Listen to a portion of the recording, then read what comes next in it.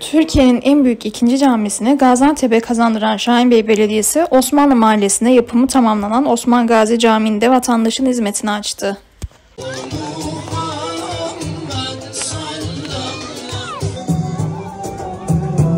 Evet çocuklar.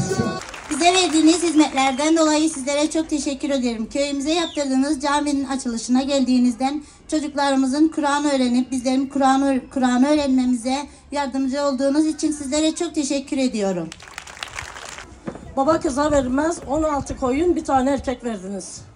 Yaptığınız işler için size teşekkür ederim. Allah sizden razı olsun. Bu cami niye yapıldı?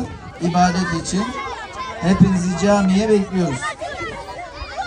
Teravih namazına, vakit namazlarına, sabah namazına. Takdir teşekkür olana bisiklet veriyoruz. Doğru mu? Kimler bisiklet aldı? Bir el kaldırsın. Maşallah.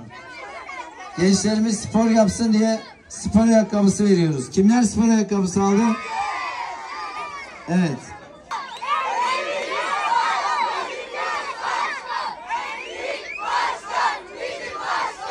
Mübarek eylesin. Ya Allah Bismillah diyoruz. Hayırlı olsun.